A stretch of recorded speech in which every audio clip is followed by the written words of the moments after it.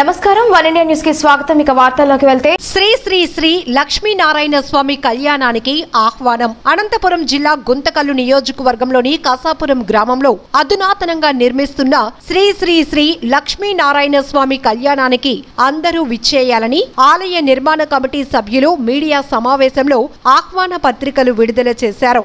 గురువారం కసాపురంలో నిర్మాణంలో ఉన్న శ్రీ శ్రీ శ్రీ లక్ష్మీనారాయణ స్వామి ఆలయంలో కమిటీ సభ్యులు సమావేశమై స్వామివారి కళ్యాణానికి తగిన ఏర్పాట్ల గురించి చర్చించారు. అనంతరం విలేకరుల సమావేశంలో మాట్లాడుతూ ఈ నెల ఇరవైవ తేదీ శనివారం ఎంతో కన్నుల పండుగగా దేవదేవుని కళ్యాణాన్ని ఆంజనేయ స్వామి ఆశీస్సులతో చేయ తలపెట్టామని ప్రతి ఒక్కరూ ఈ కళ్యాణాన్ని తిలకించి స్వామివారి కృపకు పాత్రులు కావాలని కోరారు. శ్రావణ మాసం చివరి శనివారం కావటంతో హాజరయ్యే భక్తులకు భోజన ఏర్పాట్లు చేస్తున్నట్లు వారు పేర్కొన్నారు. ఎంతో విశిష్టత కలిగిన ఆలయంగా శ్రీ శ్రీ శ్రీ లక్ష్మీనారాయణ స్వామి ఆలయం వెలుగొందుతుందని కమిటీ సభ్యులైన అష్టావధాని చక్రాల లక్ష్మీకాంత రాజారావు పేర్కొన్నారు. ఎందుకంటే కసాపురంలో ఆంజనేయ స్వామి వెలిసి ఉన్నాడని ఆయన ఆరాధ్య దైవమైన సీతారామస్వామి అవతారమైన శ్రీ శ్రీ శ్రీ లక్ష్మీనారాయణ స్వామి దేవాలయం ఆయన సంకల్పంతోనే నిర్మాణమవుతుందన్నారు.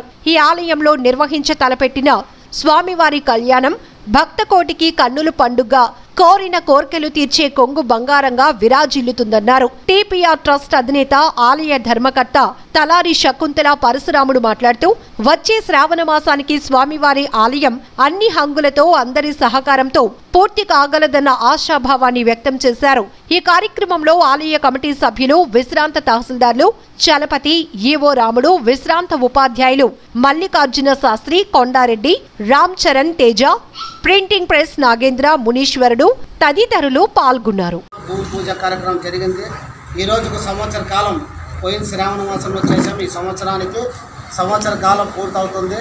ఇందులో గర్భాలయము మంత్రాలయము మహామంటపం పనులు ఈ దేవాలయంలో రాతి దేవాలయం నందు పనులు పూర్తయినాయి.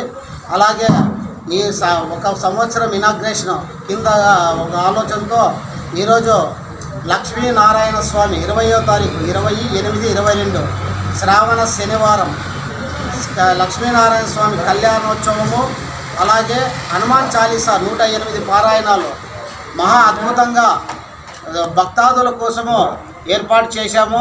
తప్పకుండా గుండకల్ ప్రజలే కాదు అనంతపురం జిల్లా వాసులతో పాటు కర్నూలు డిస్టిక్ చుట్టుపక్కల ఉన్నటువంటి భక్తాదులందరూ కూడా ఈ కార్యక్రమానికి విచ్చేసి ఈ కార్యక్రమంలో స్వామి ఆశీస్సులు పొందాలని ఇది దైవ పిలుపుగా దేవుని పిలుపుగా ఈ లక్ష్మీనారాయణ స్వామి పిలుపుగా భావించుకొని అందరూ కూడా ఈ కార్యక్రమానికి వచ్చేసి పెద్ద ఎత్తున ఈ కార్యక్రమాన్ని దిగ్విజయం చేయాలని అలాగే తీర్థ ప్రసాదాలతో పాటు అన్నదాన కార్యక్రమాలు కూడా ఆ రోజు ఏర్పాటు చేశాము.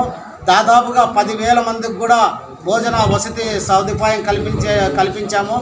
దీన్ని గమనించి ఆంజనేయ స్వామికి వచ్చే శ్రావణ మాసంకి వచ్చే భక్తాదులందరూ కూడా ఈ కళ్యాణము హనుమాన్ చాలీసా నూట ఎనిమిది పారాయణాలు చూసి స్వామి ఆశీస్సులు పొందాలని అలాగే నెక్స్ట్ జరిగే శ్రావణ మాసంలో నెక్స్ట్ జరిగే సంవత్సరంలో మహా అద్భుతంగా ఈ రాతి దేవాలయం లక్ష్మీనారాయణ స్వామి దేవాలయము మహా అద్భుతంగా క్షేత్రంగా తయారు వస్తుందని కూడా తెలియజేసుకుంటూ ఈ అవకాశం ఇచ్చినటువంటి అందరికి కూడా ధన్యవాదాలు తెలియజేసుకుంటూ సెలవు తీసుకుంటున్నాం. Thank you